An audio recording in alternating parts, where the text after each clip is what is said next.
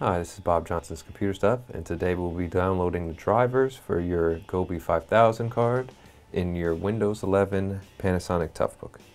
First thing you want to do is open your device manager.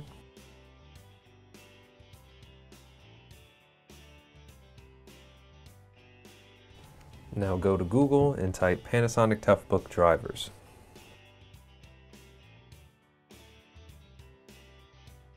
You can click uh, the first link, which is Toughbook Support Center dash Panasonic.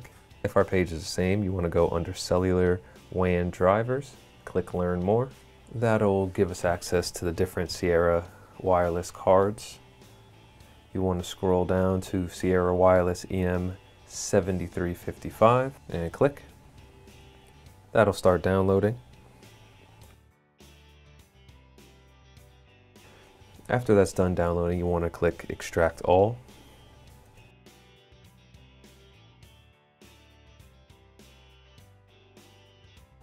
And now open the file.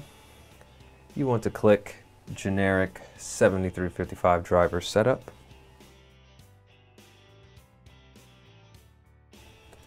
Run anyway. And now you can return back to the device manager. Once the program's done running, you'll get some more options. Click Next.